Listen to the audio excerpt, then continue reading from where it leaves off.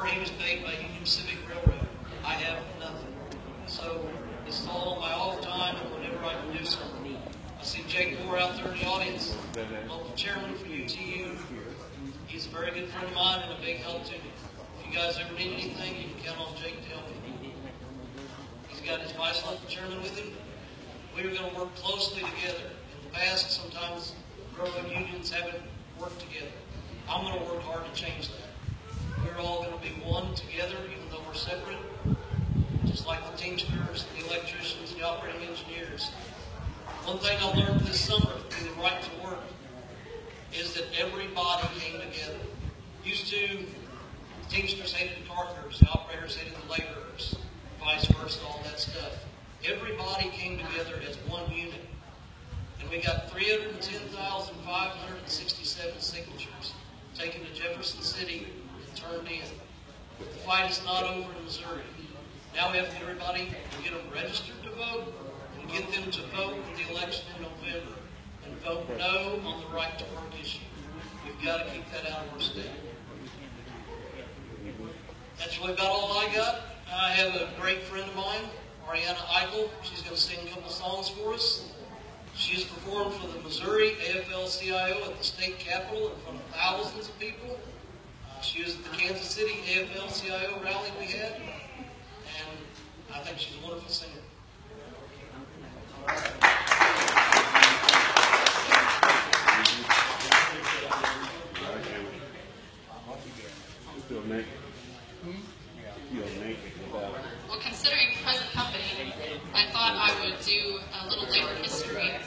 Uh, this song was written back in 1911, and it's about some of the struggles that some of the other speakers were talking about uh, to get us where we are today. The workers on the SP line to strike sent out a call, but Casey Jones, the engineer, he wouldn't strike at all. His boiler it was leaking and his drivers on the pump, but his engine and its bearings they were all out of pump.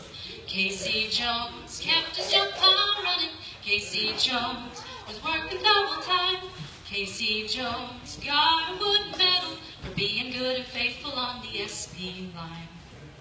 The workers said to Casey, won't you help us win this strike? But Casey said, let me alone, you'd better take a hike. Then someone put some railroad ties all across the track, and Casey hit the river with an awful smack.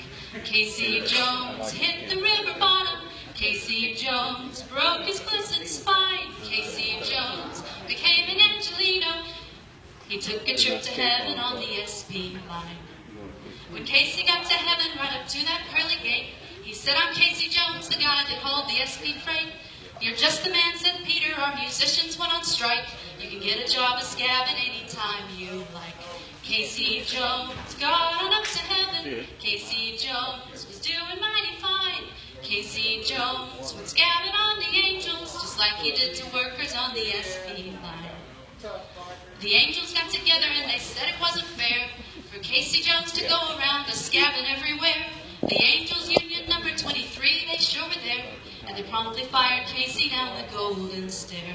Casey Jones went to hell a flying. Casey Jones, the devil said, oh fine. Casey Jones, get busy shoveling sulfur. That's what you get for scabbing on the SP line.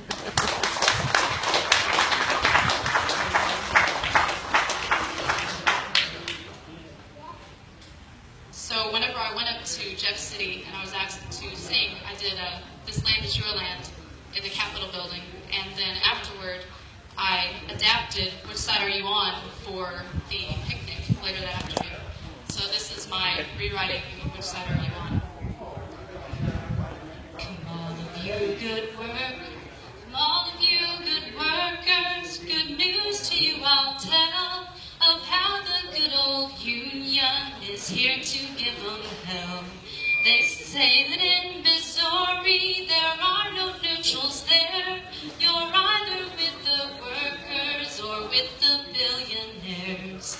Which side are you on? Which side are you on? What kind of world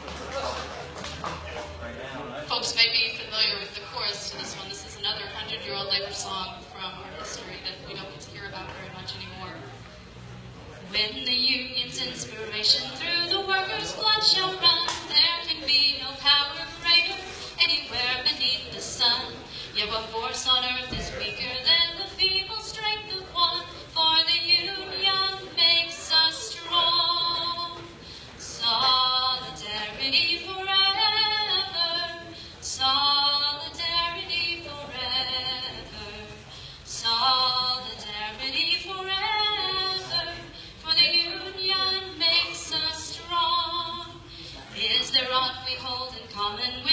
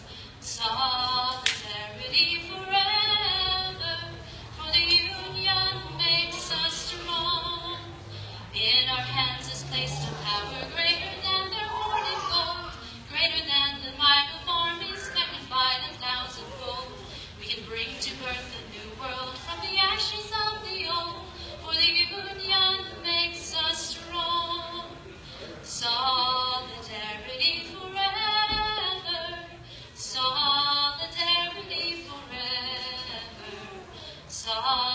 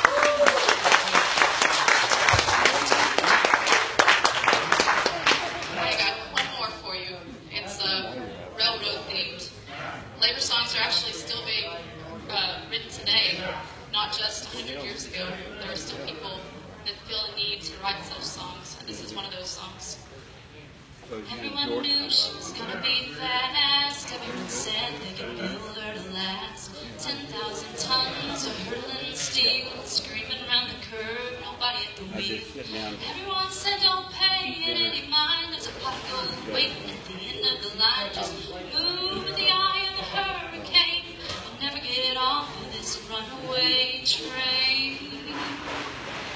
Nobody cared when they piled on board and the door snapped shut and the engine roared. They pushed to the front, they fell to the back, buying and selling every inch of the track. But deep in the engine fire in the hole.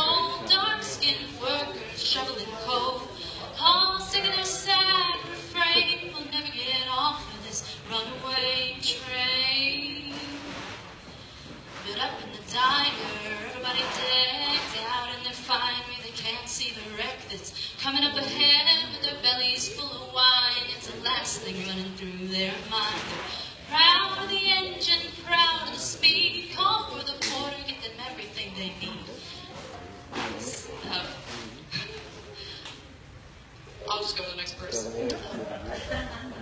I, I'm actually still nervous despite singing in front of 1,500 people at the Capitol. Uh, long after midnight, a pitiful few sound the alarm, don't know what else to do. Hanging on the, banging on the doors of the cabin and crew, you know we gotta slow down or we won't make it through. But